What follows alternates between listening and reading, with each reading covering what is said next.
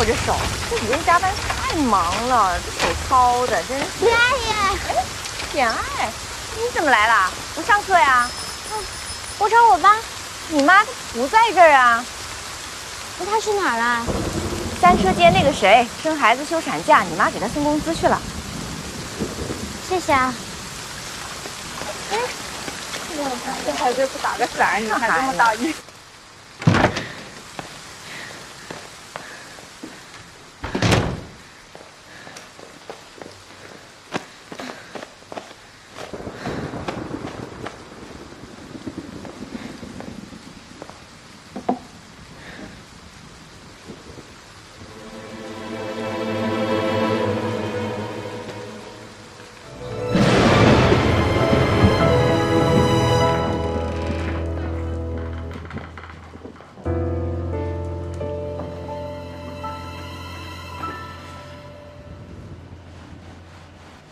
肚肚痛不痛啊，简爱？从今以后，你就是个大姑娘了。妈妈，你和爸爸。简爱，你记住，不管爸爸妈妈发生什么，我们永远都是最爱你的。可是，放心吧，没事的。乖乖睡觉，明天一早还要早起上学呢。嗯，把眼睛闭上。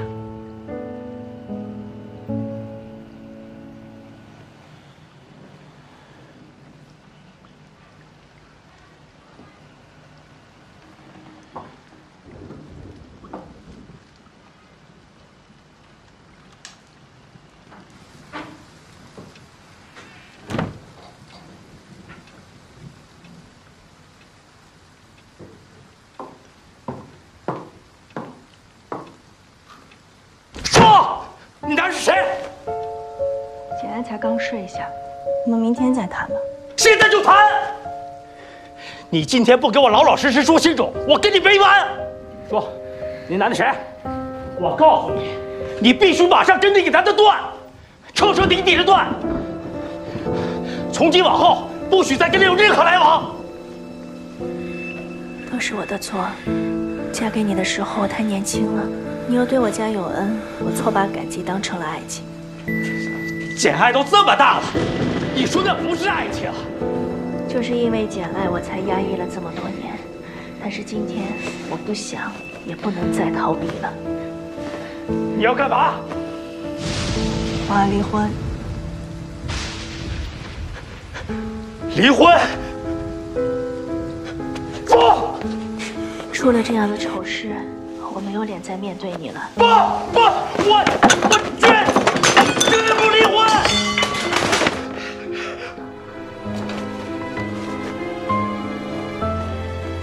燕儿，别丢下我，求你了，我不能没有你。钱大官，你起来，你知道我们根本就不可能再过下去了。能过，能过，我们能过下去。我外头已经有别的男人了。没关系，燕儿，只要你别走。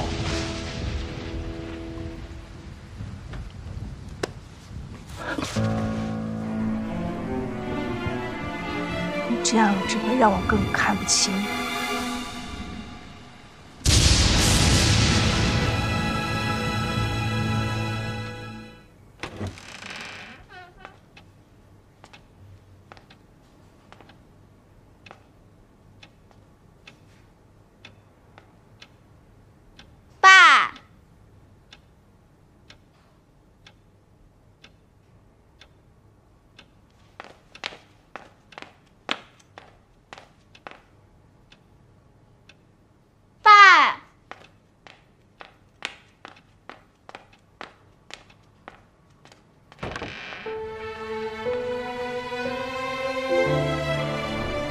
起因呢是梁小燕出轨被简大国发现了。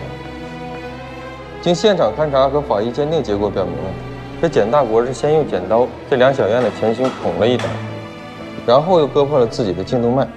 那孩子现在怎么办？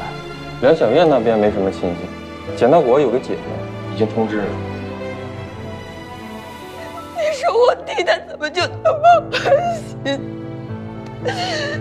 转手说走就走啊！你再好好想想，先别哭。李主任，佳爱你出去一下，我们商量点事儿，在外边等我啊。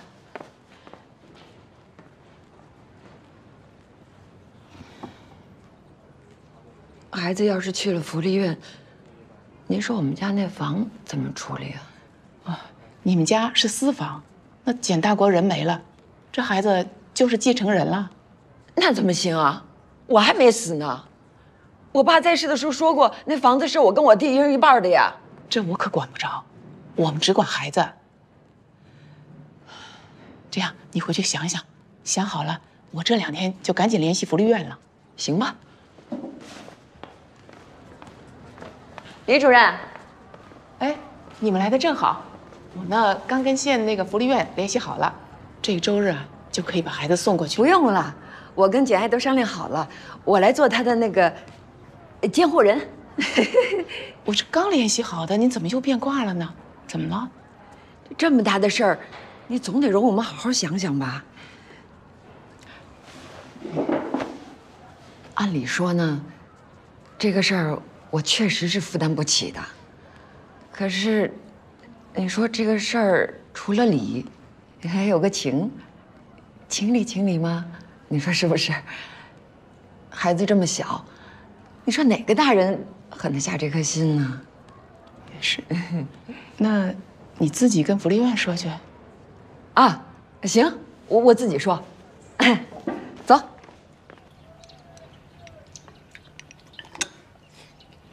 简爱呀，简爱，我今天找了半天，你爸存折放哪儿了？我怎么找不着啊？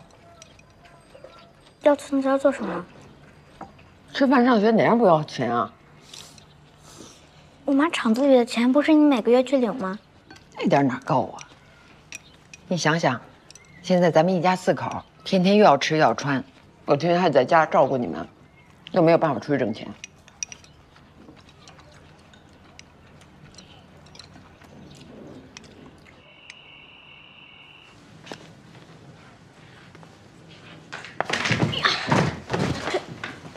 你干嘛？睡觉呗。